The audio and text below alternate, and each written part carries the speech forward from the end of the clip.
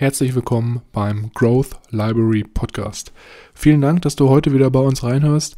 Bevor wir jedoch mit der Episode starten, wollte ich dich nochmal ganz kurz darauf hinweisen, dass wir in der Podcast-Beschreibung einen Timestamp eingetragen haben, falls du unseren Smalltalk am Anfang überspringen möchtest, um dann direkt mit der Buchbesprechung zu starten. Ich wünsche dir ganz viel Spaß und ich würde sagen, wir hören uns gleich nach dem Intro. Leerzeiten effektiv nutzen mit dem Growth Library Podcast, deiner persönlichen Bücherdatenbank. Ich begrüße euch herzlich und gebe nun weiter an meine beiden Powerleser, Milan und Mischa.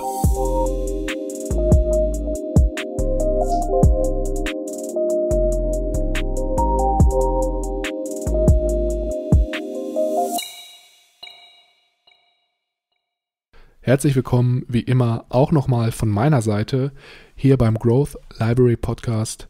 Mein Name ist Milan und am anderen Ende der Podcastleitung befindet sich wie immer mein Bruder Mischa. Hallo und herzlich willkommen, natürlich auch wie immer von meiner Seite.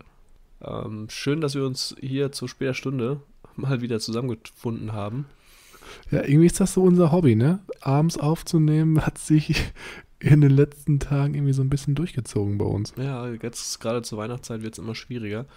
Und es wird wahrscheinlich auch die letzte, das Abschluss-Episode werden, die wir hier dieses Jahr herausbringen, weil ich auch äh, jetzt natürlich auf die letzte, auf den letzten Sprint vor den Weihnachtsferien mit meinen Klausuren zugehe. Ich habe wieder in zwei Wochen Klausurenphase und davor gibt es noch viele Assignments und auch noch mein Projekt, das ich einreichen darf und Co. Deswegen bin ich auch ehrlich gesagt etwas ähm, schwieriger zu motivieren, muss ich ehrlich sagen. Deswegen musst du, Milan, heute vielleicht ein bisschen mehr ähm, mich hier durch die, durch die Aufnahme tragen. Gleit, geleiten. Geleiten, genau. Wie so ein Blinden. Du bist quasi, ich bin der Blinde und du bist mein Blindenhund. So gefühlt. Das kriegen wir hin. Du kennst es ja selber. Es ist äh, nicht so leicht, wenn es dann auf einmal wieder alles über einem zusammenkommt und man denkt, man kommt gar nicht hinterher und man sitzt den ganzen Tag am Schreibtisch und macht, arbeitet und tut, aber irgendwie ja. kommt man nicht voran oder es tut sich nicht viel. Der Berg an Sachen, die man erledigen muss und die man können muss, verfällt nur sehr, sehr langsam. Ich habe ja selber auch in Maastricht in meinem Bachelorstudium gemacht und gerade jetzt so in der Winterzeit, wenn man eigentlich tagtäglich am Schreibtisch sitzt und es eigentlich durchgehend dunkel ist, so gefühlt, mhm. und du auch nicht viele Leute siehst, da ist natürlich dann auch jetzt das gerade so, dass das natürlich auch schon sehr an der Moral irgendwie auch nagt. Ich habe das ja selber auch miterlebt. Also gerade im Sommer ist es schon wesentlich angenehmer, so diese ganzen Lerntage zu verbringen als im Winter. Und deswegen kann ich das natürlich auch verstehen, dass die Motivation da jetzt vielleicht nicht mehr so da ist. Ich würde aber sagen, vielleicht schaffen wir es doch noch eine oder vielleicht mit etwas Glück vielleicht zwei Episoden gegen Ende des Dezembers nach deinem Examen. Aber da müssen mhm. wir natürlich schauen, wie das auch mit den Feiertagen passt.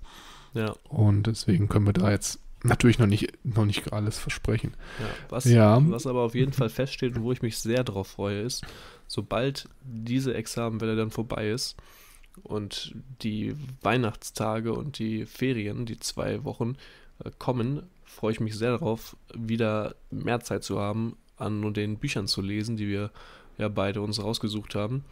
Und ja. da bin ich auch guter Dinge, dass ich da äh, schon ein Buch mindestens äh, durchgezogen kriege und dass ich, äh, dass wir dann auch wieder neuen Stoff haben für neue Aufgaben, für neue, für neue Podcasts. Also ich denke mal, am Büchern wird es uns niemals ausgehen, die wir besprechen könnten. Es ist halt eher mehr so die Zeit und das Ganze dann auch irgendwie im Alltag dann zu integrieren. Mhm. Man darf ja auch nicht vergessen, es ist ja nicht nur hier das Lesen und Zusammenfassen, sondern auch noch die Aufnahme und das Nachbearbeiten. Das ist ja auch einer der Gründe, warum wir im Endeffekt den Instagram-Kanal runtergefahren haben, weil das einfach zu viel Zeit gekostet hat und wir uns einfach wirklich vollen Fokus hier auf die Podcast-Episoden legen wollten, damit da die Qualität sehr, sehr hoch ist und auch dauerhaft hoch bleiben kann. So sieht's aus. Ja, nichtsdestotrotz habe ich natürlich auch wieder hier einen kleinen Insight von mir mitgebracht. Und zwar ist es so, ich weiß, mit dem Thema, mit dem Thema ecke ich bei dir ein bisschen an. Ich hatte, hab dir das schon erzählt. Und zwar äh, erwähne ich es aber hier gerne trotzdem nochmal, weil unsere Hörer das natürlich vielleicht auch interessiert.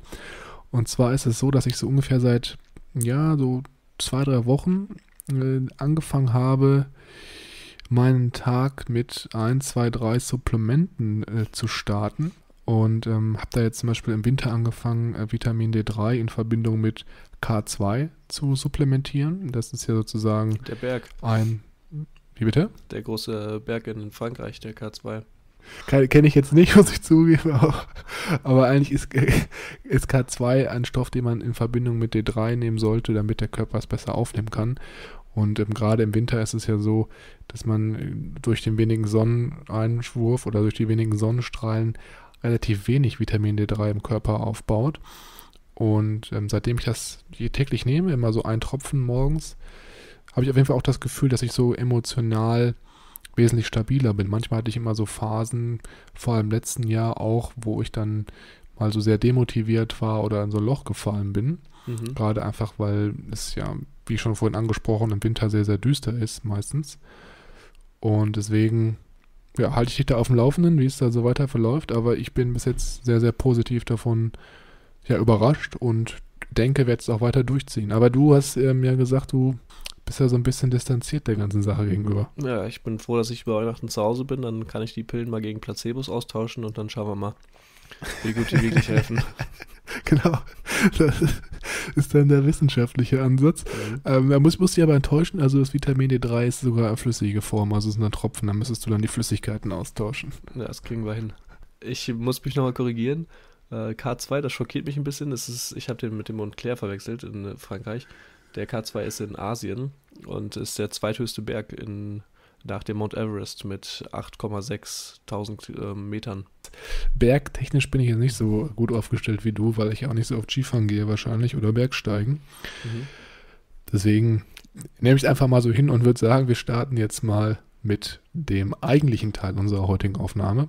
Und zwar geht es ja heute um den dritten Teil von der Buchbesprechung, wie wir eine Klimakatastrophe verhindern oder auf Englisch How to Avoid a Climate Disaster von Bill Gates. Und nochmal kurze Recap. Wir haben ja schon zwei Episoden zu diesem Buch aufgenommen.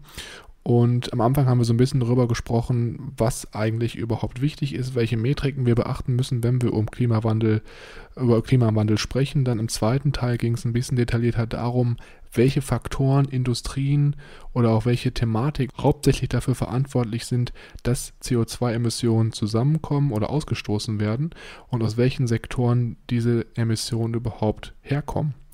Und heute geht es vor allem darum, was einmal auf politischer Ebene und auch auf individueller Ebene passieren muss oder was wir tun können, damit wir den Klimawandel in den Griff bekommen und auch in eine positive Zukunft schauen können. Und für jeden, der jetzt das erste Mal hier reinhört, ich würde euch definitiv empfehlen, ganz von Anfang an anzufangen mit der ersten Episode dieses Buches, weil wir einfach hier auch Zusammenhänge im Laufe der Episoden erklären, die aufeinander aufbauen. Und deswegen macht es hier vor allem Sinn, das Ganze sequenziell von Anfang an zu hören.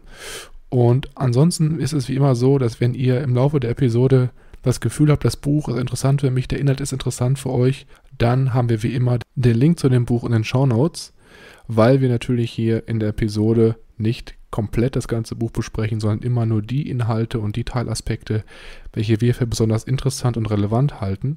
Das heißt, wenn ihr euch dazu entscheidet, das Buch zu kaufen, habt ihr auf jeden Fall auch nochmal wesentlich mehr Details, wesentlich mehr Tiefe in der ganzen Thematik. Was wir hier präsentieren, ist mehr so der Gruß aus der Küche, sage ich jetzt mal. Und mit, dem Gruß fangen wir direkt mal an. Als kleine Vorspeise gibt es nämlich das Kapitel Nummer 9, die Anpassung an eine wärmere Welt. Das fand ich äh, sehr interessant. Wenn man sich vielleicht hier mal als kleines Beispiel anguckt, wo die Emissionen herkommen, kontinentalweise, könnten wir, würden wir hier sehen, dass Afrika nur für gerade einmal 2% der globalen Emissionen verantwortlich ist. Und gerade in Afrika haben wir einen großen Teil von Entwicklungsländern, die in den nächsten Jahren dazu weiter wachsen, zu den entwickelteren Ländern zu streben. Da bin ich auch sehr gespannt schon auf unser nächstes Buch oder eins der nächsten Bücher, Factfulness, dass das sehr gut beschreibt und auch das zeitlich ein bisschen eingliedert, wann das Ganze so passieren könnte. Und all diese Menschen, die dort leben und in naher Zukunft die Gehaltsklasse, die Gehaltsleiter quasi weiter erklimmen, die wollen natürlich auch die Vorteile und die Ressourcen, die Privilegien ausleben.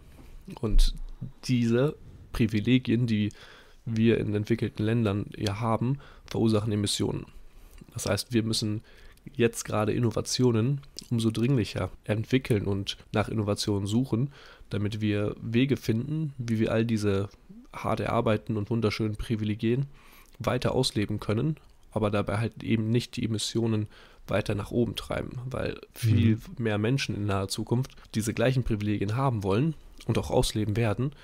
Und wenn wir das quasi nicht schaffen, ohne die Emissionen zu runterzudrücken, wird es sehr schwierig. Ganz davon abgesehen ist auch Afrika ein Kontinent, der leider seiner Lage entsprechend, gerade beim Klimawandel, äh, sehr große Auswirkungen sehr zügig erlebt, obwohl der Kontinent an sich nicht sehr viel dazu beiträgt, zu dem Klimawandel an sich. Mhm. Und hier gibt Bill Gates uns vier Keypoints, sage ich mal, an die wir uns halten können und an, die wir, an denen wir schrauben können. Und der erste ist zum Beispiel hier, dass wir ändern müssen, wie unsere großen Megacities wachsen. Urbanen Gebiete wird in naher Zukunft mehr als die Hälfte aller Menschen der Erde beherbergen.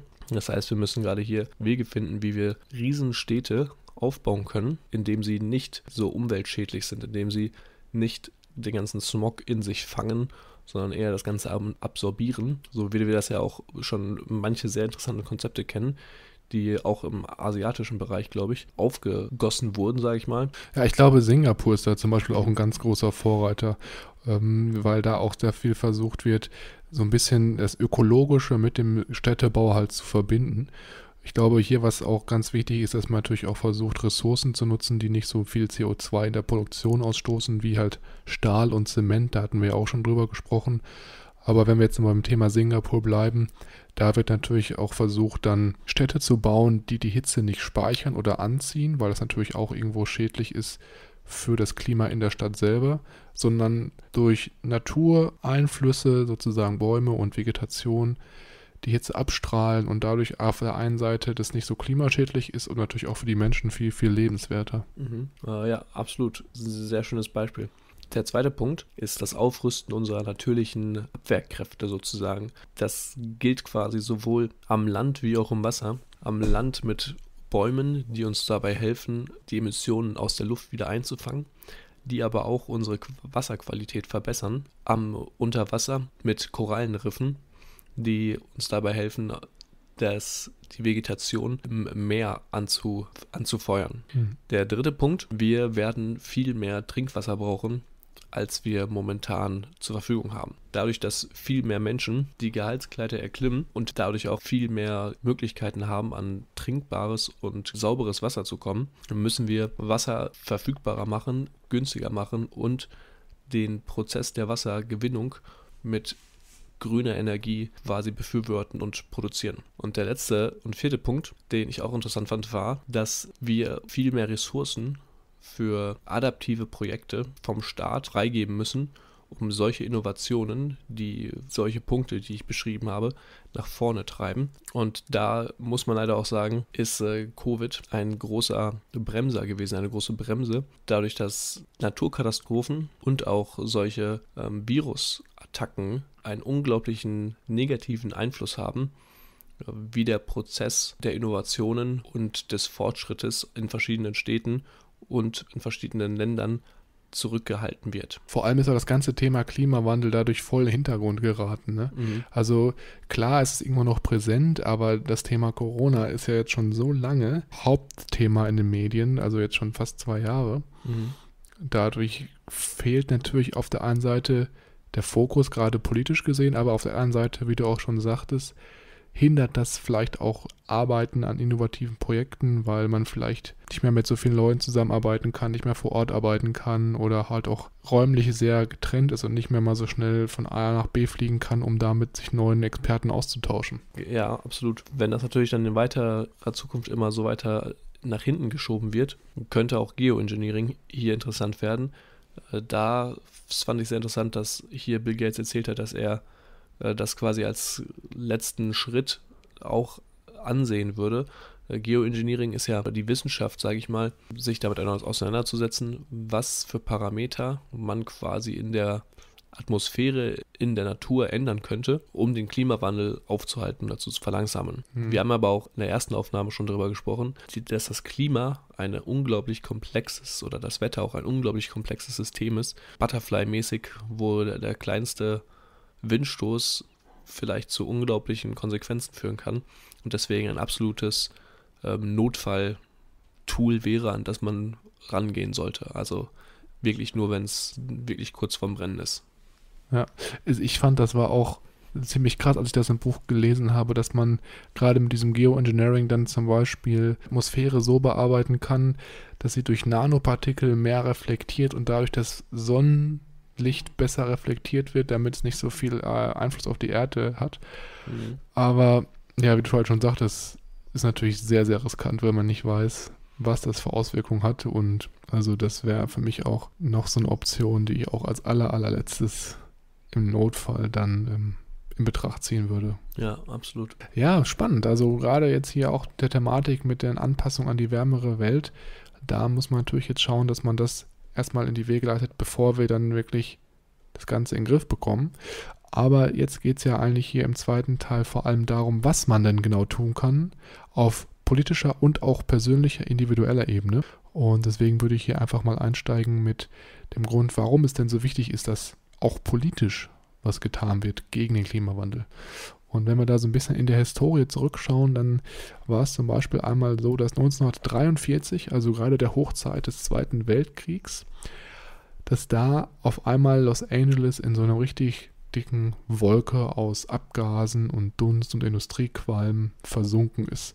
Und das war so richtig dicker Rauch. Und die Leute, die auf den Straßen waren, haben stechende Augen bekommen, die Nase ist gelaufen. Und das war das mit eines der ersten Male, dass wirklich mal so auch auf politischer Ebene der Blickwinkel für Umweltschutz, Klimawandel oder vielleicht nicht Klimawandel, aber Umweltschutz und Emissionen ähm, ja sichtbar wurde und auch der Fokus darauf gelegt wurde. Und ein ähnliches Beispiel lässt sich auch später in London sehen, 1952, wo dann sogar Polizisten mit so einer Flagge den, den Verkehr leiten mussten, weil man einfach nicht mehr sehen konnte, nur wenige Meter.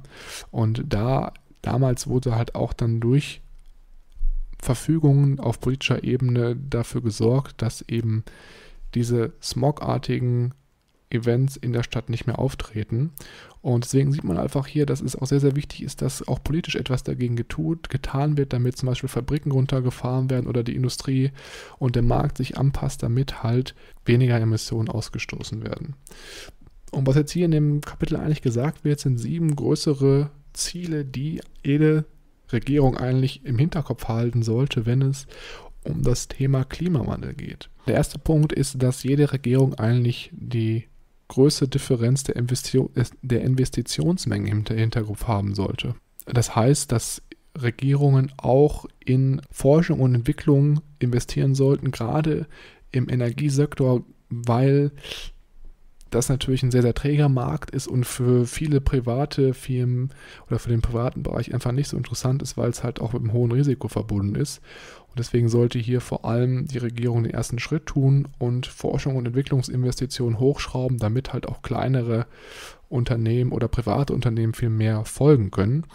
Weil man muss sich einfach im Hinterkopf halten, der Energiemarkt ist halt nicht so wie zum Beispiel der Markt mit der Mikrowelle damals oder der Technologiemarkt, in dem die Mikrowelle erfunden wurde. Weil man sich ein bisschen vorstellt, die Mikrowelle, die als erstes entwickelt wurde, hat damals 12.000 Dollar gekostet. Da aber es klar war von Anfang an, dass jeder diese Vorteile der Mikrowelle auf jeden Fall nutzen wird, weil sie einfach viel schneller und viel effizienter Speisen erhitzen kann, ist halt der Preis nachher Zeit auf 50 Dollar im Schnitt pro Mikrowelle gesunken. Und Elektrizität oder Energie ist halt ein ganz anderes Segment. Also hier geht es nicht darum, dass das Produkt gewinnt, was die besten Eigenschaften hat, weil es eigentlich egal ist, ob du jetzt zum Beispiel Energie aus fossilen Brennstoffen oder aus grünen äh, Ressourcen nutzt. Im Endeffekt ist die Performance gleich. Und deswegen muss man einfach hier durch Investitionen auf der Regierungsebene dafür sorgen, dass das Ganze innovativ vorangetrieben wird. Das heißt quasi, der private Sektor hier weiß noch nicht so richtig, wie man Gewinne erwirtschaften kann in diesem Bereich und also in einem Bereich X. Und der Staat nimmt dafür das Geld im ersten Schritt in die Hand, steckt das in Universitäten oder in andere Projekte, um da zu experimentieren, wie können wir mit X Geld machen. Und sobald der private Sektor das quasi eingesehen hat und da Möglichkeiten sieht, übernimmt er ab diesem Punkt. Genau, richtig, ja. Was heißt, also nicht unbedingt Geld verdienen, vielleicht auch effizienter gestalten. Ne? Also mhm. es ist ja, geht ja anhand einher, richtig.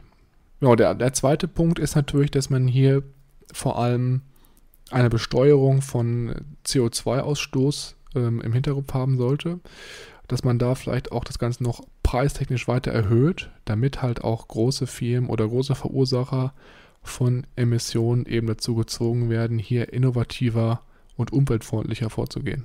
Der dritte Punkt wäre, dass man vielleicht auch versucht oder dafür sorgt, dass Informationsdifferenzen zwischen verschiedenen Parteien geschlossen werden. Das heißt, viele Hausbesitzer zum Beispiel sind sich in häufigen Fällen gar nicht im Klaren, dass grüne Alternativen langfristig wesentlich kostensparender sind. Das heißt, wenn man jetzt vergleicht eine Wärmepumpe im Gegensatz zu einer Gasheizung oder Ölheizung, ist auf jeden Fall langfristig wesentlich kostensenkender oder aber auch eine bessere Isolierung des Eigenheims, damit einfach Wärme besser gespeichert werden kann. Ja, das ist ja gerade in den Niederlanden ein großes Problem. Da hat das, glaube ich, noch nicht so, haben das noch nicht so viele Leute verstanden, dass Doppel, Doppelglasscheiben, dass die viel, eine viel höhere Isolationsgewinnung haben als Einglasscheiben. Ja. Ich weiß noch damals in meinem ersten, das plaudere ich ein bisschen aus dem Nähkästchen für eine halbe Minute, in meinem ersten äh, Apartment oder meinem ersten Zimmer in Maastricht, da war es so, dass ich wirklich, ich habe mitten in der Innenstadt gewohnt, es war von der Lage eigentlich super, aber es war so ein älteres Gebäude und auch, wie du gesagt hast, so Einglasscheiben und der Rahmen, das war nicht so wie heutzutage, wie du es eigentlich auch kennst, dass die Rahmen so ineinander greifen, so stufenweise, damit auch wirklich das abgedichtet ist. Das ist halt dann wie so eine Gartentür von so einem Gartenhaus. Es fällt einfach so in die Form rein, aber die Schlitze, die waren nicht richtig verschlossen. Und auf der einen Seite waren die Fenster im Winter komplett zerschlagen, da war Feuchtigkeit dran. Ich habe alles gehört, was in der Stadt los war. Und durch die Spalten ist immer richtig viel kalte Luft reingekommen. Deswegen musste ich natürlich auch dementsprechend dann die Heizung immer richtig hochziehen. Mhm. Und ja, also es war auf jeden Fall eine Erfahrung. Ich habe auch dann, ich habe, du warst ja auch einmal da, mhm. hab da ja auch nicht lange gewohnt, ein halbes Jahr oder so, dann bin ich ausgezogen. Aber es war auf jeden Fall sehr, sehr, eine sehr, sehr wilde Erfahrung. Ja, sehr gemütlich. genau, sehr gemütlich.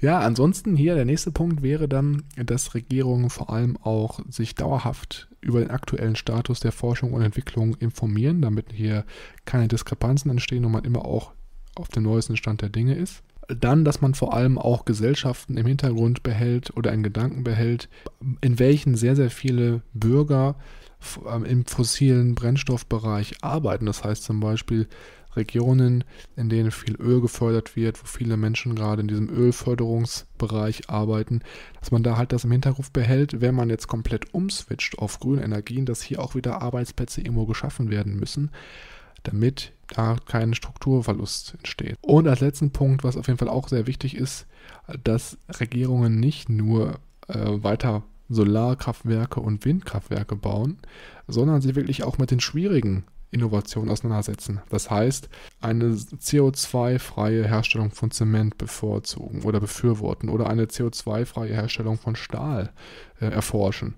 Und auch was ganz, ganz wichtig ist, worüber wir auch schon gesprochen haben, dass man sich Gedanken dazu macht, wie Elektrizität in großen Mengen so gespeichert werden kann, dass Städte auch in drei, vier Tagen ohne Sonneneinstrahlung oder Wind mit Strom versorgt werden können. Was ich auch sehr interessant fand hier bei den Punkten war, das Beispiel, dass gerade Solarenergie so stark vorangetrieben wird, da hier der Preis um 90 Prozent gefallen ist seit 2009. Das ist definitiv auch ein Faktor. Gerade natürlich, wenn Geld in Innovation gesteckt wird durch die Regierung, ist ja durch das Ziel, Kosten zu senken und langfristig dann einen Vorteil für alle Beteiligten zu sichern. Bevor ich jetzt zum nächsten Kapitel hüpfe, noch den letzten Punkt von mir. Ich fand auch sehr cool, dass hier Bill Gates erzählt, dass er auch selber eingesehen hat, dass es bei Microsoft zu seiner Zeit, als er noch aktiver als CEO war und das Ganze mit aufgebaut hat, dass er am Anfang viel zu wenig gerade hier in Richtung Government Policies und Gesetze und Co. mitgewirkt hat und dass er das mitbereut, dass er da eigentlich viel eher sich hätte mit involvieren sollen bei den Politikern und Co., dass man da zusammen gemeinsame Ziele verfolgt. Mm, und auch dann vielleicht damals den Computer schneller an den Mann bringen kann oder Innovation vielleicht auch besser vorantreiben kann. Ne? Absolut. Ja. Das war ja auch sein Ziel mit Microsoft, einen Computer auf jedem Schreibtisch quasi zu haben. Das äh, wäre natürlich hilfreich gewesen, wenn da die Politik und die Anreize mitspielen. Auf jedem Esstisch, ne? Auf Oder auf jedem- jedem Küchentisch. Genau, auf jedem Küchentisch, mindestens eins. Gut, das nächste Kapitel, das vorletzte von unserem schönen Buch hier, ist jetzt der Plan, wie wir auf die schwarze Null kommen, wie wir an Null Emissionen kommen. Und da werden jetzt quasi hier unsere Ziele, die wir aufgelistet haben, mit spezifischen Plänen zusammengeworfen um, und zusammen fusioniert. Der Plan, der jetzt hier von Bill Gates vorgeschlagen wird, sieht wie folgt aus. Und im ersten Schritt müssen wir quasi hier das Angebot der Innovationen schaffen und unsere Innovationen, die wir brauchen, vorantreiben. Und dann im zweiten Schritt die Nachfrage für diese Innovationen auch erhöhen und für den Verbraucher attraktiv genug machen, dass es sich auch lohnt, diese grünen Innovationen zu installieren oder zu nutzen und, und quasi damit trotzdem seinen gewohnten Alltag zu vollziehen und gleichzeitig der Umwelt nicht zu schaden. Mhm. Diese Innovationen, die wir in den letzten vergangenen Kapiteln hier besprochen haben, darunter zum Beispiel emissionsfreier Stahl und Zement oder auch Wärmepumpen und pflanzlich oder zellenbasiertes Fleisch und äh, Milchprodukte. Um diese Innovationen, um das Angebot der Innovation voranzutreiben, werden vier Schritte aufgezeichnet. Der erste Schritt ist die Forschung und Entwicklung über die nächsten Jahrzehnte weiter voranzutreiben und kräftig zu investieren und auch das öffentliche Investment mit in die Forschung und Entwicklung zu stecken. Der zweite Punkt, auch höhere Risiken in diesen Forschungsprojekten eingehen. Äh, Es gab hier ein sehr interessantes Beispiel.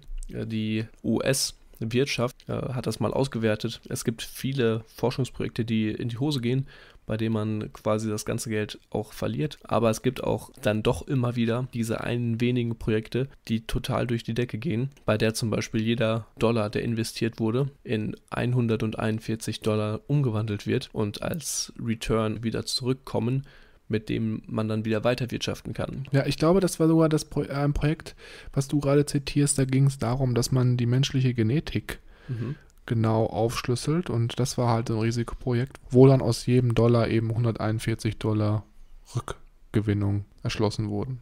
Äh, Das kann gut sein. Das habe ich äh, nicht mehr so im Kopf. Äh, aber es ist natürlich eine unglaubliche, ein unglaubliches Angebot. Also Ja. wenn wir Aktien dazu finden würden, ich würde ähm, dazu auf jeden Fall nicht Nein sagen. Ich schon. Das glaube ich dir. Der dritte Schritt ist dann die Forschung und Entwicklung. Natürlich auch äh, mit unseren größten Bedürfnissen oder mit den, mit den größten Brennpunkten auch zu konfrontieren und darauf abzustimmen, sodass, wenn gerade der totale Mangel an Zahnpasta herrscht, die Forschung auch an neuen Zahnpasta-Möglichkeiten mitentwickelt und mitforscht und nicht nach ähm, neuen Teesorten äh, sich äh, die Haare ausreißt. das nur mal so vielleicht als kleines äh, bildliches Beispiel aus dem Alltag. Der letzte Punkt, um dann auch wirklich unsere Innovation und das Angebot der Innovation äh, breit aufzustellen, ist, was wir auch gerade am Anfang schon besprochen haben, wie Bill Gates gesagt hat, auch von Anfang an mit der Industrie, also der Staat und die Industrie, von Anfang an quasi Hand in Hand gehen, damit auch klar ist, wie der Staat Innovation vorantreiben kann und die Industrie diese dann aufgreifen kann, um diese dann noch weiter zu verfeinern und noch attraktiver zu gestalten. Ja, ganz spannender Punkt, dass man natürlich auch dann darauf schaut, dass diese Innovationen direkt in der wirklich freien Marktwirtschaft Anwendung finden können. Ja. Sehr, sehr spannend. Nachdem man jetzt hier im ersten Schritt die Verfügbarkeit von Innovationen durch eben deine vier marktstrategischen Ansätze gegeben wurde, ist jetzt im zweiten Schritt laut Bill Gates die Notwendigkeit gegeben, dass die Regierung dafür sorgt, dass auch eine Nachfrage für eben diese Innovation, die wir gerade angesprochen hatten, gegeben ist. Und hier gibt es auch wieder vier Punkte, die ich einmal ganz kurz anreißen wollen würde.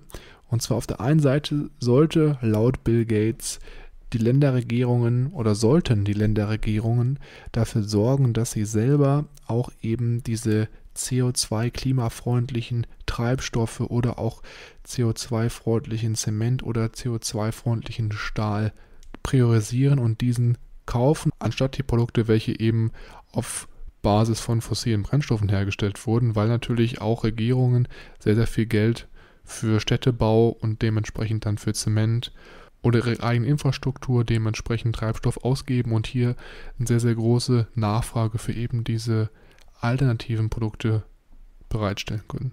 Im zweiten Schritt können Regierungen natürlich auch hier Nachfrage in, dem Hinwe in der Hinsicht kreieren, wenn sie höhere Steuern auf Produkte setzen, welche zum Beispiel nicht klimafreundlich sind. Da könnte man hier auch Steuervorteile für Produkte bewerben, die eben aber klimafreundlich sind, zum Beispiel für Elektroautos oder aber für eine klimafreundliche Produktion, dass man da vielleicht dann Steuervorteile genießt.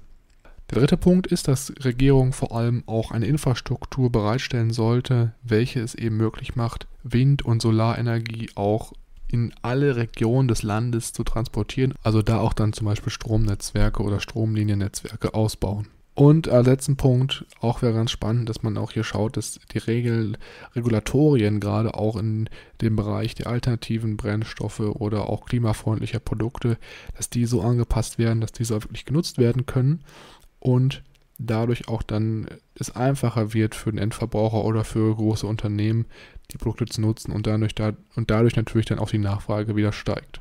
So, nachdem wir jetzt darüber gesprochen haben, was auf der Regierungsebene passieren muss, damit Klimaziele oder CO2-Emissionen gesenkt werden können, geht es jetzt in dem letzten Kapitel vor allem darum, was jeder Einzelne von uns tun kann, um eben zu einer Reduzierung von Emissionen oder auch zu einer Erreichung von den Klimazielen beizutragen. Und hier wollen wir das Ganze wieder mal in zwei Gruppierungen aufteilen. Einmal darum, was wir als Bürger tun können oder auch als Konsumer. Und ich fange mal ganz kurz an als Bürger. Was kann man hier tun, um einen positiven Beitrag zur Senkung der Emissionen zu tätigen? Auf der einen Seite sagt Bill Gates hier ganz klar, dass man sich als Bürger in der lokalen oder auch nationalen Politik engagieren soll, weil das wirklich ein Punkt ist, den vielleicht viele gar nicht so auf dem Schirm haben, aber wenn du da deine Meinung äußerst und mal vielleicht auch Brief schreibst an den Lokalpolitiker oder Nationalpolitiker oder aber auch vielleicht mal anrufst und da mal ein kurzes Feedback abgibst, da kann man schon sehr, sehr viel erreichen, vor allem wenn man dann seine Stimme in Anbetracht von Projekten erhebt, welche eben klimafreundlich oder Klimavorteile oder Klimaschutz vor allem ähm, ja als Ziel haben. Also das wäre so der erste Punkt. Dann vor allem auch sich nicht nur auf lokaler Ebene in diesen politischen Themen engagieren, sondern vielleicht auch auf nationaler Ebene und dafür sorgen, dass das Thema nicht in Vergessenheit gerät, weil meist ist es natürlich so, dass Politiker sich hauptsächlich oder häufig viel mehr auf Themen fokussieren, welche am meisten auch in der, Völker in der Bevölkerung an Nachfrage haben. Und als letzten Punkt sagt Bill Gates, man sollte vielleicht, wenn man sehr engagiert ist, auch sich mal als Politiker aufstellen lassen und dann dafür sorgen, dass Klimathematiken auch dann wirklich diskutiert werden. Gerade die Punkte, die du genannt hast und auch der letzte Punkt ist äh, etwas, was für etwas, was ich mich sehr schwierig begeistern kann. Also gerade dieses sich selbst aktiv zu beteiligen bei diesen langen Debatten, äh, das finde ich, liegt irgendwie nicht so ganz in meiner Natur. Da muss ich vielleicht noch ein bisschen aus meiner Komfortzone rauskommen und ähm, das etwas mehr trainieren und mich da vielleicht ein bisschen mehr reindenken. Aber diese, ja, gerade so Podiumsdiskussion und Co., das war ja nicht immer so mein, ähm, meine Lieblingstätigkeit in der Schule, sag ich mal. Ja, muss man der Typ für sein, ne? Genau. Sagen wir es mal so. Wie kann man als äh, Konsument das Ganze angehen und wie können wir als Konsument einen positiven Einfluss auf unsere Umwelt und auf das Klima haben. Wir können hier mehrere Wege gehen. Wir können zum Beispiel uns smarte Thermostate installieren lassen, wenn wir das nötige Kleingeld dafür haben. sodass wir auch wirklich nur dann heizen oder nur dann Energie verbrauchen und nur dann Licht nutzen, wenn dies auch wirklich benötigt wird. Da gibt es, glaube ich, auch noch ein großes Feld, was man noch viel smarter machen könnte. Die Energienutzung ja. im eigenen Haus, Sensoren anschaffen und anbauen im und um das Haus herum, um mal zu gucken, wo die Wärme eigentlich das Haus verlässt und wie man das noch verbessern kann. Da habe ich auch letztens mit ähm, einem Freund drüber gesprochen. Die haben das bei sich jetzt auch angegriffen und die waren sehr überrascht und sehr, ist also positiv überrascht, da diese, diese ganzen Erkenntnisse quasi zu bekommen und zu sehen, ja. wo, wie die Energie eigentlich verloren geht. Mhm. Der nächste Schritt ist auch hier kann man sich für grüne Premiums eintragen lassen, dass man quasi bei seinem lokalen Energieverbraucher vielleicht etwas mehr zahlt, aber dann dafür auch zahlt, dass es grüne Energie ist und nicht die ja, braune oder schwarze Energie. Ja. Äh, auch diese beiden Punkte hier, kleiner Nachteil, das nötige Kleingeld muss dafür vorhanden sein. Ansonsten können wir auch noch weiter mit leichteren Incentives arbeiten hier, mit LEDs zum Beispiel, die weniger Energie verbrauchen als normale Glühbirnen. Wir können vielleicht auf ein elektrisches Auto umsteigen, das ja auch vom Staat subventioniert wird. Ja. Und tatsächlich kann man auch bei vielen äh, Supermärkten umsonst tanken, das wusste ich gar nicht, also für elektrische Fahrzeuge, also Energie tanken. Ähm, also aufladen. Also aufladen, genau. Und der letzte Punkt, von dem Bill auch äh, begeistert war, vielleicht einfach mal einen äh, pflanzenbasierten Burger probieren. Ja, ich habe sogar schon mal einen Beyond Meat Burger äh, Patty gegessen. Und? Ähm, ja, also es ist schon erstaunlich, wie sehr das nach Fleisch schmeckt. Also das ist echt wirklich crazy. Aber ja, irgendwie so hundertprozentig hat mich das nicht überzeugt. Ich glaube, ich wäre dann eher jemand, der vielleicht so einmal im Monat einen richtigen Burger essen geht mhm. und dafür dann aber nicht jede Woche einen pflanzenbasierten Burger.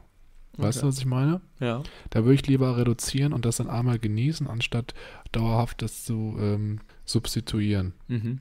Aber ist natürlich in jedem, wer meint. Ne? Also wenn man jetzt sagt, man ist da so ein mega Fan davon, dann ist wahrscheinlich das immer noch klimafreundlicher, als dann jeden Tag einen, Pflanz, äh, einen Fleischburger zu essen. Mhm. Für mich wäre es vielleicht noch eher was, weil ich da den Unterschied nicht so stark schmecken würde, glaube ich. Ich bin irgendwie ein bisschen unsensibler, was auch das angeht. Essenstechnisch. Ja, mir fehlen da irgendwie ein paar Geschmacksrezeptoren oder ich habe die irgendwie verloren auf dem Wege bis jetzt. Beim ähm, Rennradfahren wahrscheinlich. Beim Rennradfahren sind sie runtergefallen.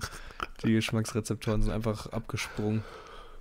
Ähm, aber um das Ganze nochmal hier vielleicht zusammenzufassen, also ich fand das Buch sehr interessant. Mir hat das sehr gut gefallen. Ich fand es am Anfang aber doch etwas düster.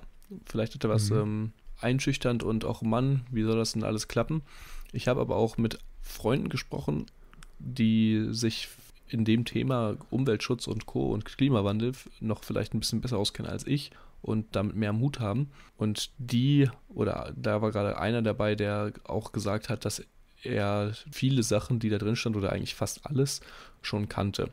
Also je nachdem, wie gut deine Vorerfahrung mit Klimawandel und Co. ist, könnte sein, dass man vielleicht jetzt nicht so viel herausnimmt wie jemand, der komplett neu zu diesem Thema ist. Aber als Einstieg auf jeden Fall sehr cool und ich fand auch echt cool am Anfang, dass hier immer wieder genannt wurde, wo die Ressourcen her sind, dass er sich selber damit auseinandergesetzt hat mit der Thematik und wo er, welche Bücher er gelesen hat, welche er gut fand, welche er weiterempfehlen könnte, um das Klima noch besser zu verstehen und gewisse Prozesse.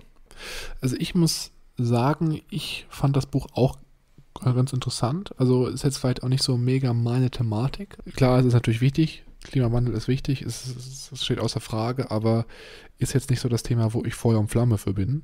Vielleicht ist es deswegen auch nicht so das Buch gewesen, was mich so umgehauen hat. Zum Beispiel das Thema von Matthew Walker, was wir davor besprochen haben, hat mich viel mehr ge gefesselt. Mhm. Nichtsdestotrotz fand ich aber auch die Einsichten sehr, sehr gut gerade auch, was mich sehr, sehr umgehauen hat, war, wie wenig Energie man pro Fläche aus Wind und Solar eigentlich rausbekommt im Vergleich zum Beispiel zu fossilen oder Nuklearwerken. Mhm.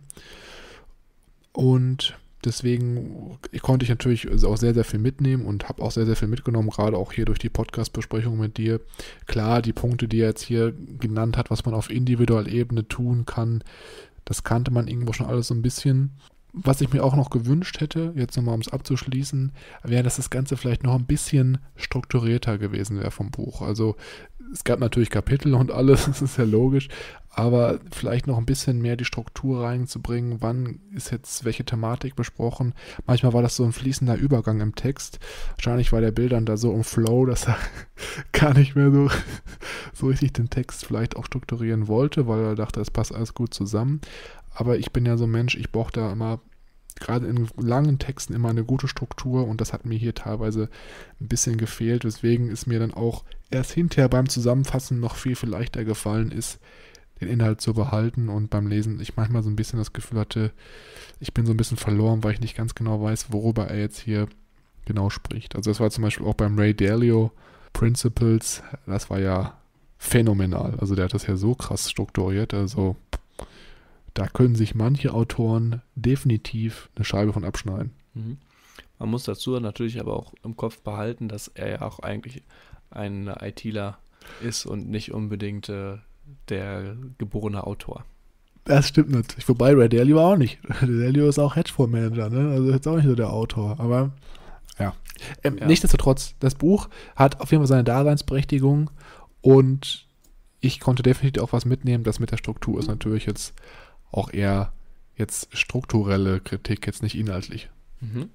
So, und wie immer interessiert uns natürlich auch, was eure Meinung zu dem Buch ist. Habt ihr das Buch schon gelesen? Habt ihr vielleicht andere Inhalte mitgenommen oder habt ihr hier aus der Podcast-Episode wesentlich neue Informationen mitgenommen, die ihr vielleicht mit uns teilen möchtet? Dann freuen wir uns immer, wenn ihr uns über Instagram kontaktiert unter growthlibrary.official, einfach per Privatnachricht. Da antworten wir in der Regel immer von einem bis zwei Tagen spätestens. Und wir freuen uns immer über jeden, der uns Feedback zu den Episoden gibt oder vielleicht auch einfach mal erzählt, was er denn so mitgenommen hat und was er vielleicht besonders interessant fand. Ansonsten könnt ihr uns auch sehr gerne unterstützen, indem ihr uns auf Instagram folgt oder aber bei Spotify folgt und dann auch direkt die Benachrichtigung bekommt, wenn wir neue Podcast-Episoden hochladen. Ich würde sagen, das war es heute für uns. Genau, auf jeden Fall gerne in Kontakt treten. Wir freuen uns immer, auch von euch zu hören. Ansonsten wünschen wir euch schon mal ein besinnliches Fest. Vielleicht gibt es noch eine Überraschungsepisode. Bleibt gespannt. Ansonsten hören wir uns im nächsten Jahr. Bis dahin. Tschüss. Ciao.